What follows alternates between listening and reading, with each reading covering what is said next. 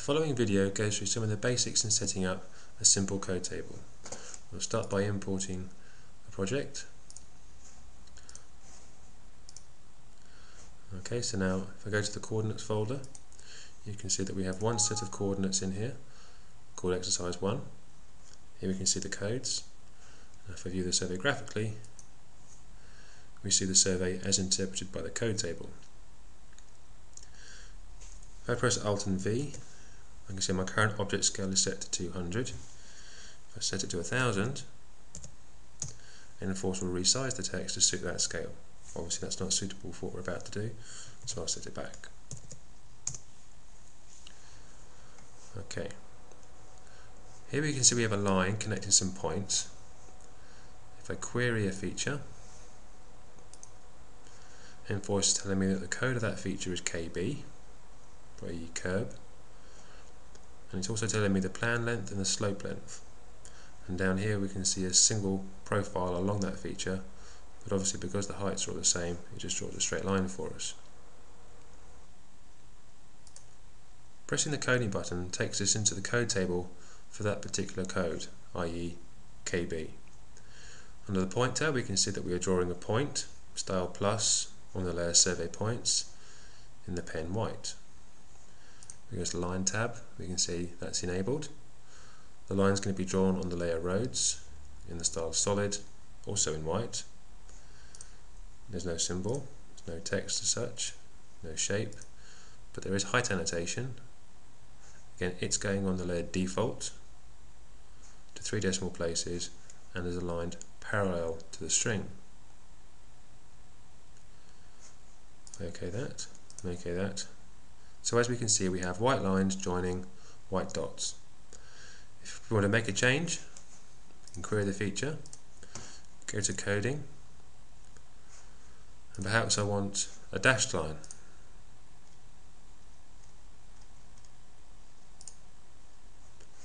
Maybe I want the height on a different layer. Survey points. Uh, I don't want it in light grey, I want it in green. I press OK, and OK, F5, and everything changes. So that's hard coding, i.e. setting the colour of objects to be specific. You can also, however, set objects to get the colour from the layers they occupy.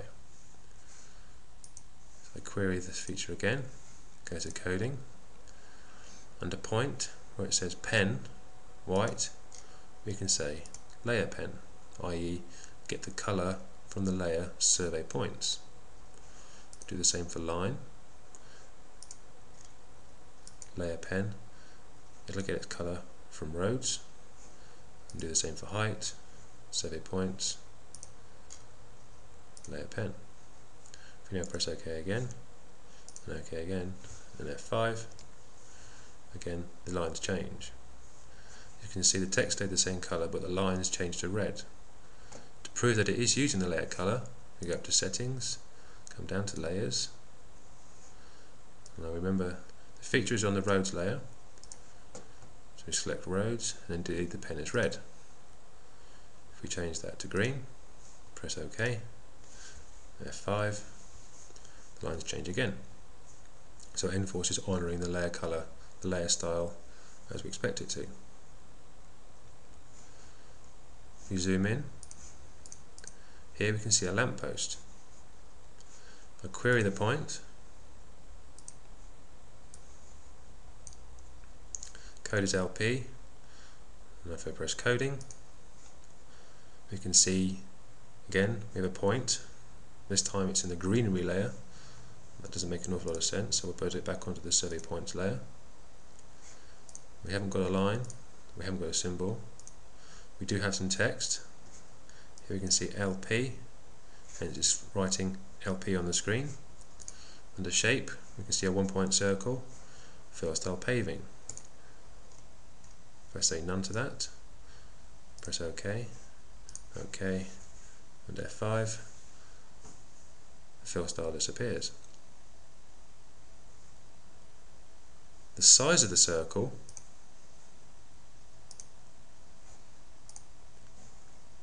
is controlled by a parameter. In this situation, a one-point circle expects a radius. Under the Fields tab, we can provide default values for that radius. I'm going to Fields. Here we can see that R already set up and 0.2 is its value. If I change that to 1, OK, OK again, and F5, the shape changes size again. Go back to the code table, set it back to 0.2, press OK, OK, and F5, it honours the size again.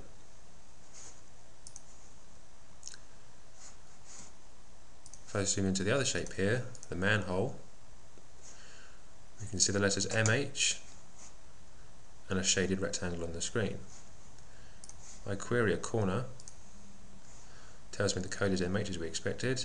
If I go to coding, you see the style of the points is set to none, hence we don't see any points on screen. I'm just going to temporarily turn them back on, make them white, okay, okay, 5, there we go, we can see one point. Query the point again. No line as we would expect, no symbol. Text, yes, MH. And under shape, it says two point rectangle and hide the second points. If I untick hide second points, press OK, OK, and F5, we can now see two points. So how does the rectangle know how wide it is? For query a point, go to coding, go to the field tab where defaults are provided, we can see the default value is 1. If I change that value to 2, press OK, OK again, 5, nothing happens. If I query the point again and go to attributes, we can see it's actually got an overriding factor physically attached to the point. If I take that value off, and F5 again, you can see the rectangle does indeed get larger. I put the attribute back. Okay. It obeys the size again. So that's the manhole. Zoom to extents again. This time zoom into the tree. Okay, so the tree's been drawn with a symbol, which represents the canopy, and a shape of some sort, sizing the trunk. And we can also query that trunk, we can see the attributes there plotted on the screen automatically. If I change the species from oak to say pine, OK that, and F5, you can see that it updates. So how is all that done? If I query the point,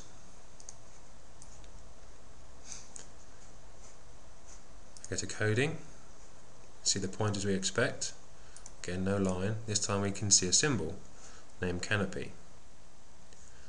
The moment it's a one point scaled symbol, which means it just needs a scale factor to size it. But go to the Fields tab.